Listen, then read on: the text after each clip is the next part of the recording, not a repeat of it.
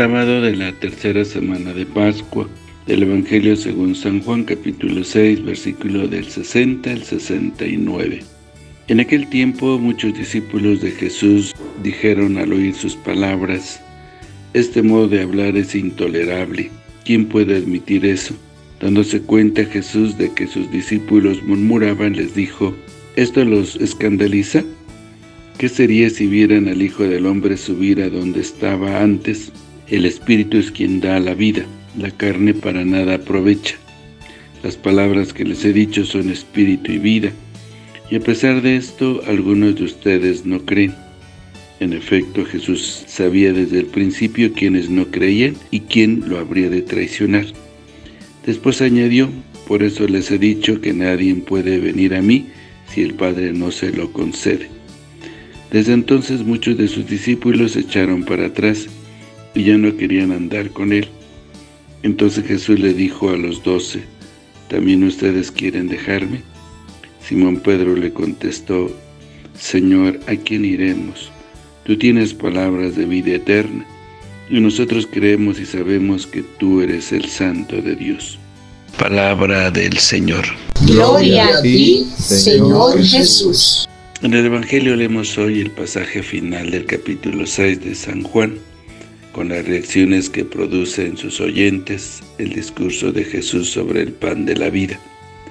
Para algunos resalta, resulta duro e imposible de admitir. No se sabe qué les les ha escandalizado más el que Jesús sea un obrero del pueblo, pero que se ha mostrado buen predicador y hace milagros, y afirma que Él es el enviado de Dios, y hay que creer en Él para tener vida, o bien que afirme que hay que comer su pan y beber su sangre. El texto griego al hablar de comer utiliza el verbo trogo, que significa masticar. Tanto la afirmación de que ha bajado del cielo como la que hay que comer su carne, solo tendrán su sentido después de la Pascua, cuando Jesús haya subido al Padre, resucitado por el Espíritu, y cuando haya descendido del mismo Espíritu sobre los discípulos, dándole los ojos de la fe para entender la donación de Jesús pascual como pan verdadero. Jesús, al contraponer el Espíritu a la carne, no se refería a ningún desprecio de lo corporal, ni menospreciar nuestra condición carnal. Lo que Jesús quiso decir es que el Espíritu es quien nos hace comprender lo que significa todo eso de la identidad entre el pan y el cuerpo de Cristo. Pero desde entonces, muchos discípulos lo abandonaron y no andaban con él. Solo el grupo de discípulos, cuya portavoz es Pedro, le permanecen fieles. Tal vez no han entendido del todo sus afirmaciones, pero creen en Él y le creen. Para Pedro, a pesar de todas las cosas que nos pueden entender sobre lo que Jesús hace y dice, su convicción es firme. Nosotros creemos y sabemos este video ha llegado a ustedes gracias a Campusano Móvil, donde ofrecemos los servicios de desbloqueo, activación y reparación. Te activamos y reparamos el software de tu celular, tablet o computadora. Además, vendemos todo tipo de accesorios y recarga de todas las compañías. Vendemos tablets, celulares y computadoras. Estamos ubicados en la calle Sánchez número 10 en el ensanche Altagracia de Herrera. Teléfono 809-530-7327. Con su administrador, Michael Campusano que tú eres el santo de Dios. No siempre las cosas que leemos en la Sagrada Escritura nos resulta inteligible. Hay que creerlas y vivirlas exactamente como Jesús nos las dice, aunque no suenen ilógicas y carentes de sentido. Jesús estaba hablando de realidades que no entendían aún, pero eso no es una limitación para Pedro.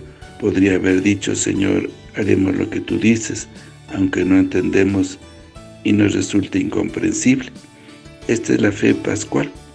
Aprovechemos esta Pascua para dar una respuesta sobre la identidad y poder de Cristo, de Jesús en nuestra vida.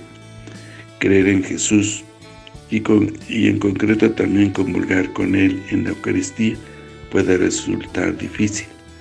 Nosotros somos de los que han hecho opción por Cristo Jesús, como fruto de cada Eucaristía en la que acogemos con fe su palabra en las lecturas y lo recibimos Él mismo como alimento de vida. Imitemos la actitud de Pedro y digamos también, Señor, ¿a quién iremos? Tú tienes palabras de vida eterna.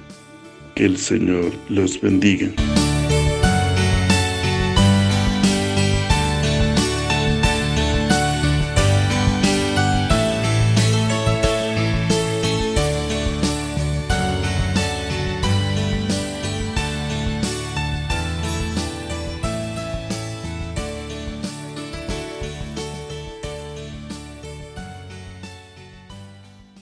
La bendición de Dios Todopoderoso, Padre, Hijo y Espíritu Santo, descienda sobre ustedes, que los acompañe siempre. Que el Señor los bendiga. Si te gustó este video y deseas seguir recibiendo el Evangelio, misa en vivo, oraciones y muchas reflexiones más, ayúdanos a seguir creciendo. Suscríbete a este canal de YouTube. Activa la campana de notificaciones. Deja tu comentario. Dale me gusta. Y compártelo con todos tus seres queridos. Que el Señor te bendiga a ti y a toda tu familia. Bendiciones.